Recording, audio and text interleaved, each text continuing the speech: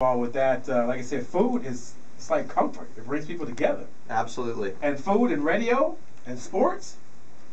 Ain't nothing like it. Bam. You, you can't beat this. You know, I'm sure when I told Jay, I was like, Jay, you want to be on the show? They bring your food.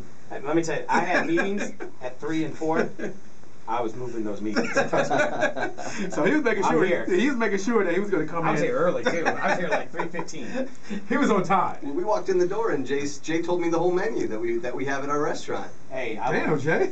I told them they have the best pastrami corned beef combo sandwich in the town. Period. That's my favorite sandwich right there. That's a plug right there. I'm saying. You might need to name.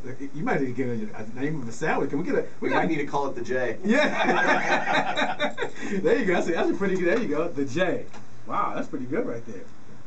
I, I, I don't pretty get good. anything else when I go in there. You're like 80% of our customers that come in the door. They already know what they want before they even walk in. Now I know a lot of people have been following us on Twitter. Obviously, I got a lot more followers from you guys as well, from tweeting back and forth, and uh, great support. Nothing but great things saying about the uh, the restaurant, and obviously the history speaks for itself, especially in the you know economic times that we're in, for you guys to still be going strong. And like I said, when people can go in and get a good meal, that's uh, that's that's like healing. That's, that's like that's like you know I'm, I'm I ain't gonna say sexual healing. Uh, I'm not gonna go to Marvin Gaye, but that's that's uh, that, that, that's a little bit of healing. Uh, and then the potato salad. you wake up going, man, I'm gonna make a trip to Miracle Mile today, because it's a it's a trip for me. I, I don't like going within five minutes of my comfort zone I got everything right where I need in Old Town.